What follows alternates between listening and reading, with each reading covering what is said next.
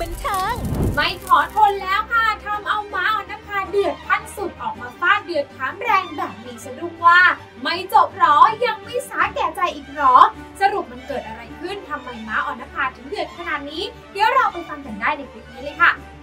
โดยเรื่องราวฟาดเดือนนี้นะคะ เกิดขึ้นจากเมื่ออดีตพิธีกรชื่อดังอย่างม้าอ่อนนภาได้โพสต์ภาพตัวเองใส่ชุดบิกินี่วันพีซโชว์หุ่นแซบในวัย 70 ปีที่ผิวอย่างเนียนเต่งตึง สวยเป๊ะไม่เปลี่ยน แม้การเวลาจะเปลี่ยนไปก็ตาม แต่ก็ไม่สามารถทำอะไรหุ่นแซบความเป๊ะปังของม้าอ่อนนภาได้เลย เท่านั้นยังไม่พอนะคะเพราะว่าม้าออนภาเนี่ยก็ยังได้มีการโพสต์คลิปวิดีโอที่กำลังเดินเล่นน้ำที่บริเวณชายหาดท่ามกลางบรรยากาศพระอาทิตย์ตกอย่างมีความสุขค่ะ พร้อมกับเล่าถึงความประทับใจที่มาลังกาวีว่า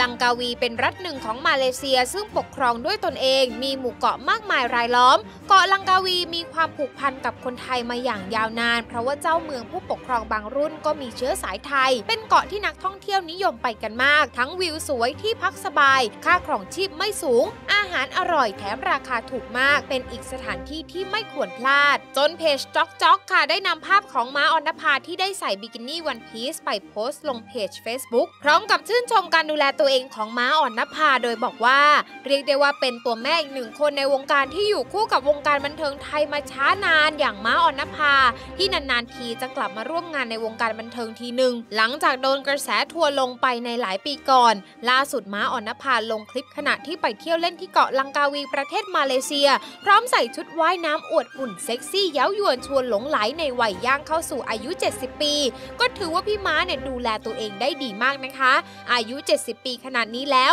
ยังสามารถรักษาหุ่นได้แบบเลิศให้เป็นแรงบันดาลใจให้กับใครหลาย ๆ คนในการรักษาสุขภาพค่ะ แต่ไม่วายไม่วายกลับมีคอมเมนต์แซะจนได้ค่ะ ทั้งบอกว่าสวยมากค่ะ จากชมรมคนตาบอด อายุน้อยกว่าพ่อผมไม่กี่ปีแต่ยังหล่อมากเลยครับ ลุงพรชัยหล่อมากครับ ดีใจด้วยนะคะที่ยังเดินไหวในวัย 70 ปี รวมถึงคอมเมนต์แซะไปถึงดราม่าในอดีต ที่มาอ่อนนภาเนี่ยเคยใช้คำพูดเหน็บแนมแบบแรงเวอร์ ถึงนักเรียนหญิงผูกโบสีขาวที่เรียกร้องเกี่ยวกับสถานการณ์การเมือง จนม้าต้องยุติบทบาทการเป็นพิธีกรและลาออกจากวงการบันเทิงทำเอาม้าอ่อนนภาเนี่ยก็ไม่ขอทนที่ตัวเองต้องโดนด่าอีกต่อไปแล้ว ออกมาฟาดเดือดถึงคนที่ด่าตัวเองในเพจจ๊อกจ๊อกพร้อมถามแรงมีสะดุ้งว่าเพจจ๊อกจ๊อกเอารูปดิฉันไปลง และเขียนชื่นชมในการดูแลตัวเอง แต่คนเข้ามาคอมเมนต์บูลลี่ และเหยียดหยามตัวดิฉัน ด้วยเหตุเรื่องการเมืองเมื่อนานมาแล้ว ไม่จบรอคะ นี่ก็ออกมาจากวงการแล้วยังไม่สาแก่ใจอีกหรอ